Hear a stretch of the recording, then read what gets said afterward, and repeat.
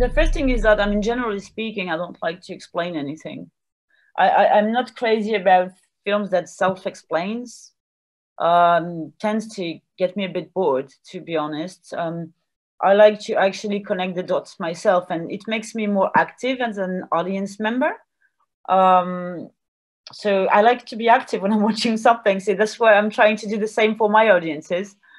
Uh, so that's the first thing. I never explain anything, and for that matter, even in my mise en scène, I never explain anything in the sense that I would never shoot an um, you know installation shot. You know, like you know, you shoot a building, like wide shot of the building, and you see people getting there, and then you find them in the office.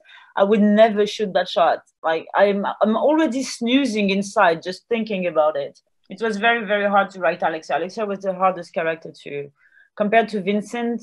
I mean, Vincent was a walk in the park next to her um, Alexia was very very hard to to write just because I mean she's like unrelatable even for me at the start. You know, she becomes the whole point is that she becomes relatable because she becomes in touch. Um, um, she becomes like more in touch with the humanity the more the film goes and uh, with her she starts expressing emotion and all that and it's her journey through her own humanity that is interesting but at the start of it when there is no humanity, when it's only like, um, you know, death impulses and chaos and violence, I mean, even for me, she's unrelatable. I can't feel for her at this level, more, neither morally or uh, emotionally. But I had to find a way because obviously she's my main character and I can't do anything against that. And obviously she's opening the film for 30 minutes by herself. So I have to make the audience stick with her until, you know, they start like, you know, um,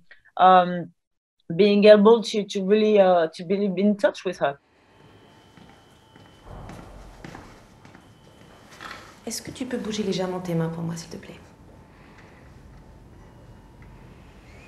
Ok, soulève un peu tes bras maintenant. Is there really, really only one way to relate to a main character? I don't think so. I think that the history of cinema has proven that that was wrong, that we could relate to a very um, um, despicable characters with very weak, uh, cowardly coward, characters and stuff like that. And it's actually something that I find great.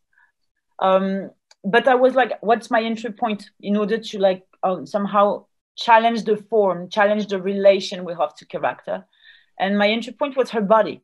For me, I decided that if I cannot make you feel emotions for her for the first 30 minutes, then I'm gonna make you feel what she feels in her body, under her skin, you know, and hence the violence and hence the, the, the, the body horror aspect of it. That is for me a way to create like an umbilical cord uh, between you and the character by playing on this body empathy that everyone feels in life. You know, like for example, if someone gets their hand chopped off in front of you, even if you've never had your hand chopped off, and even if it's not you, you're gonna go like, you know you're to have this movement this physical movement of, of of fear and of pain whereas it's not happening to you and you're not related to that person.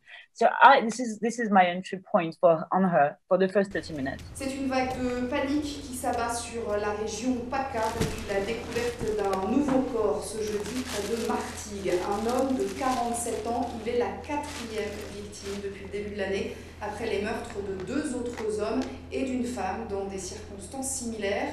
Le préfet de police appelle officiellement la population au calme et renforce les effectifs policiers sur le terrain.